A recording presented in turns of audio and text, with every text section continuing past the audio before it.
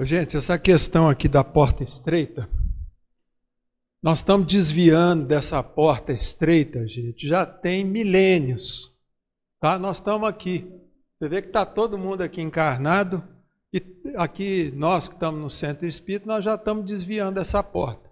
Por quê? Porque ao longo dos séculos passados e milênios, qual porta que a gente deve ter entrado? Pela porta larga.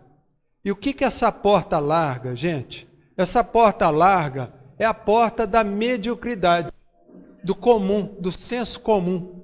Quer dizer, o que, que a gente encontra por essa porta? É a ociosidade, é a preguiça, é o orgulho, o egoísmo, tá certo? É a procrastinação. O que, que é procrastinação? É deixar para depois o que a gente poderia ter feito agora, hoje. Então, quer dizer, nós já estamos procrastinando e derrapando nessa porta larga há séculos. Só que tem um detalhe, gente. Nós estamos agora no século 21, que é um século de transição. Então, quer dizer, nós não temos mais tempo para ficar derrapando, para ficar só entrando pela porta larga. Tá? Nós temos que resolver para onde nós vamos. Ou vamos para a porta estreita ou para a porta larga. E nessa porta larga vai ser uma porta que vai levar muita gente para quê, gente? Para um planeta inferior ao nosso. Vai para um planeta inferior. Vamos lá para o mundo primitivo. E lá a gente vai ficar à vontade na porta larga. Tá? Porque é a porta da preguiça, gente. Porque na realidade a porta é estreita. O que é a porta estreita? A porta estreita é aquela porta que a gente vai bater com quem ali no fundo da porta? Com a gente mesmo, porque nós temos que fazer a reforma íntima. Então, para a gente caminhar nessa porta estreita, nós temos que estar dentro da reforma íntima nossa, na nossa auto-reforma moral. Nós temos que estar trabalhando o quê? Combatendo em nós. Em nós, não é nos outros, não. Nós temos que estar combatendo nosso orgulho, nosso egoísmo, a nossa preguiça, a nossa ociosidade, a mania que a gente tem para deixar para depois, que a gente deve fazer hoje, a procrastinação, tá? Então nós vamos ter que enfrentar isso, tá? E o que eu falo é o seguinte: porta larga porta estreita, todo dia, a hora que nós acordamos, olha bem, gente, levantou da cama, você já pode fazer a escolha que porta que você vai entrar. E qual porta que você vai querer entrar? Pela porta estreita. Porque vai chegar um momento que não. Ô meu irmão, tá bom? Como é que tá aí? e, beleza. Mas você entendeu, gente? Então nós temos todo dia o poder de escolher em que porta nós vamos entrar. Agora eu pergunto, que porta que a gente está entrando, gente? Hoje. Nós estamos hoje no dia 25 de julho de 2021. Que porta que a gente tem entrado nesses últimos dias? Então o que a gente tem que fazer é isso, é ficar atento à porta. Tá certo? Porque o Cristo, gente, na sabedoria dele, o Cristo na época, ele falava por parábolas. Por isso que ele usou essa figura da porta estreita, que é uma comparação que ele usava, porque a parábola é uma forma de contar uma história comparando. Você vai comparando as coisas que as pessoas vivenciam no dia a dia, e nessa comparação é o que o Cristo fazia. É o que nós chamamos de parábolas, contando história, tudo para ver se o povo entendia. Por quê, gente? O povo daquela época, era, ele, ele, eles eram totalmente analfabetos. Era um ou outro que sabia ler. Ô, meu irmão. sabia ler. Então, quer dizer, o Cristo ele estava lidando com gente muito simples e humilde, de entendimento, dificuldade de entendimento. Então Cristo tinha que esmiuçar isso, falando, fazendo comparação. Tá certo? Por quê? Ele, ele falou da porta estreita. Porque lá na época, em Jerusalém, lá tinha os portões, porque era to, Jerusalém era toda cercada de muro. E tinha portões, portas de entrada, e essas portas fechavam todo dia lá para seis horas. A hora que ia anoitecendo, o povo fechava. E era uma porta estreita. Então Cristo usou essa figura tá, para poder chamar a atenção do povo. Porque o povo na época pensava só em salvação. Oh, meu Deus, eu tenho que salvar, vamos salvar. Então, quer dizer, a salvação que o Cristo falava é a nossa própria salvação. É a gente salvar a gente da gente mesmo. Olha só.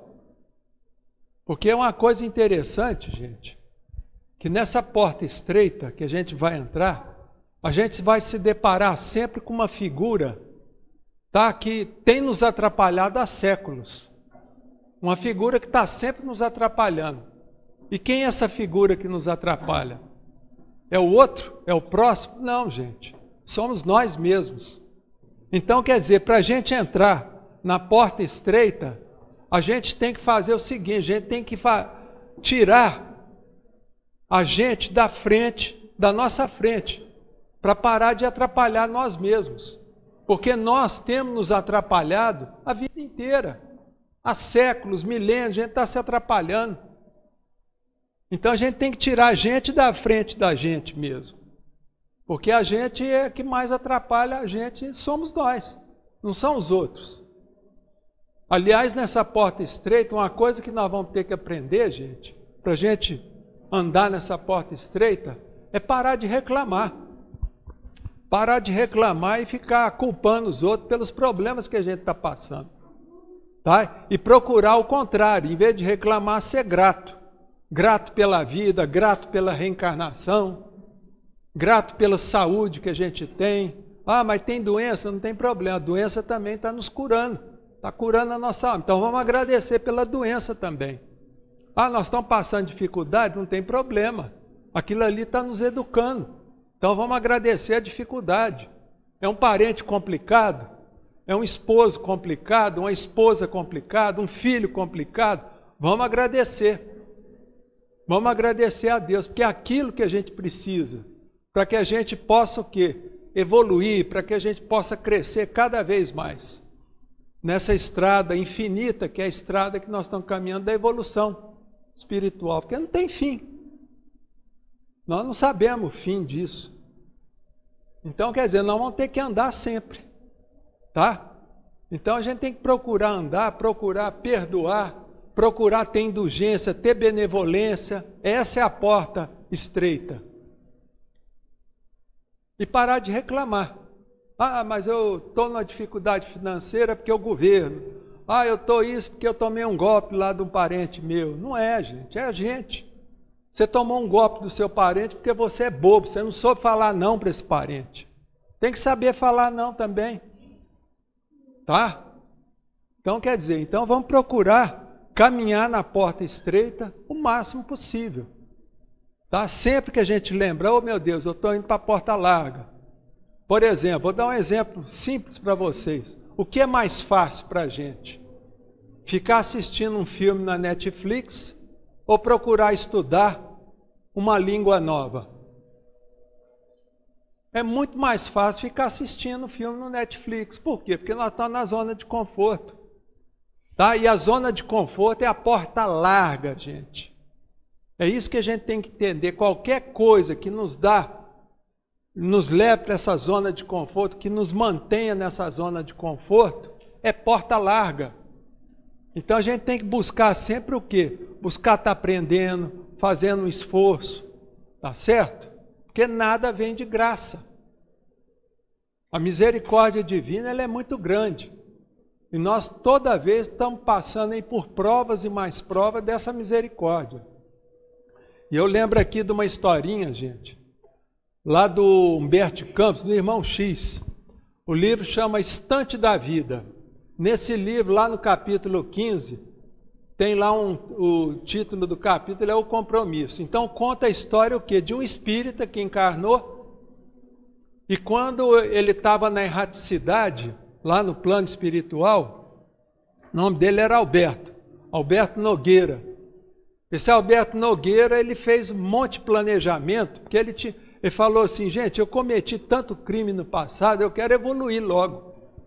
Aí ele pediu para os benfeitores lá no mapa, quando ele está fazendo o planejamento reencarnatório dele, ele pediu o quê? Ele pediu para nascer com lepra, passar por dificuldades, passar pelo abandono dos entes queridos, para que ele pudesse ficar na penúria, na extrema pobreza, pedir esmola, ter que esmolar. Isso tudo ele pediu. Ele fez lá um, um documento e assinou embaixo. E aí os benfeitores pegaram esse documento que ele fez, esse planejamento reencarnatório, que ele queria muita coisa, né? E aí levaram lá para os benfeitores maiores, para eles fazerem uma avaliação dessa, desse planejamento. Aí veio a ordem lá de cima falando assim: ó, a misericórdia de Deus ouve por bem fazer o seguinte: o Alberto Nogueira ele vai reencarnar, vai ter uma vida comum, vai ter filhos, esposa, tudo. A única coisa que nós pedimos é que ele vai nascer também com a mediunidade.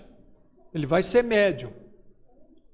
Só que nós, ele vai ter que servir essa mediunidade dele com Cristo pelo menos 30 anos, dedicando nesses 30 anos pelo menos oito horas semanais a serviço do Cristo utilizando a mediunidade, tudo ali. Bom, aí esse Alberto Nogueira, ele reencarnou e passou pela vida, casou, tudo, teve filho. E aí, um dia lá no centro espírita que ele frequentava, uma mulher estava com a filha lá que estava passando por uma obsessão muito grande. E essa menina, ela estava precisando o quê? Da assistência espiritual que viria através da mediunidade do Alberto. Aí a, mulher foi falar lá com o dirigente do centro. Aí o dirigente falou: o Alberto ele não tem vindo aqui no centro espírita, não tem. Ele parou de frequentar, ele frequentou uns dois anos, mas parou. Aí a mulher falou: Mas onde que mora esse seu Alberto? Eu vou lá na casa dele rogar a ele para que ele faça essa caridade. Aí ela foi lá, ele estava lá sentado tomando uma cerveja numa cadeira de balanço. Aí chegou lá, ela explicou o caso, pediu se eu poderia ir lá dar um passo na minha filha. Ele falou: Não, ó, já tem uns dois anos que eu não vou no centro espírita, porque eu adoeci. E depois que eu adoeci, eu não sei se eu adoeci, eu, o que aconteceu, eu não quero mais mexer com isso. E eu sou um pai de família, eu tenho que cuidar da minha vida aqui, profissional, da minha vida familiar. Então, para vocês verem, gente, como é que é o negócio. Quer dizer, aquele sujeito que, quando estava no plano espiritual, ele pediu tanta coisa para passar pela lepra, pela pobreza, pela indigência, pela perda dos entes queridos. Quer dizer, e nessa vida que ele podia fazer um passe, trabalhar lá, coisa à toa, simples, ele não quis fazer. Então, para vocês verem, gente, como é que essa questão da porta estreita e da porta larga pega as pessoas de forma bem sutil, tá certo? Então, que a gente fique atento a essa porta estreita e essa porta larga. E todo dia de manhã vamos lembrar disso. Qual porta que eu vou escolher para poder entrar? A estreita ou a larga? Tá certo, gente? Então, o que eu tinha que falar sobre esse assunto eu acho que é só. Então agradeço a paciência tá? e passar para o Anderson.